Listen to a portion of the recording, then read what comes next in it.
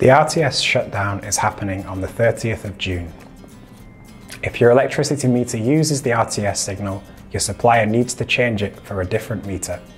This is really important because if you don't get a new meter, your heating and hot water may not work properly after the shutdown. The shutdown will affect you if your electricity meter uses the RTS signal. Some meters have a black box that says RTS on it, but not all of them. Your meter might use the RTS signal if you get cheaper electricity at certain times of day. This is very common if you have storage heaters. Your meter definitely doesn't use the RTS signal if it's a smart meter. If you're not sure whether your meter uses the RTS, it's best to call your electricity supplier and ask them. If your meter uses the RTS, your supplier should have already been in touch with you to arrange an appointment for a new meter. If they haven't been in touch, it's a good idea to call them and tell them you have an RTS meter.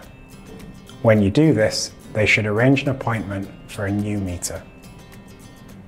If your supplier can't offer you an appointment, you can tell them you want to make a complaint. If they don't address your complaint within eight weeks, you can escalate your complaint to the Energy Ombudsman. The Ombudsman can help you sort out your issue with your supplier.